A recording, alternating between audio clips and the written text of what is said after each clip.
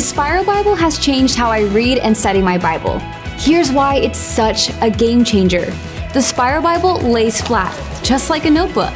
The pages are huge with lots of room inside to take notes. See, look how much space there is. And the paper is thick, like notebook paper. So now I can take notes with pens, markers, and my highlighters. And it doesn't even bleed through. It's the Word of God in a spiral bound notebook.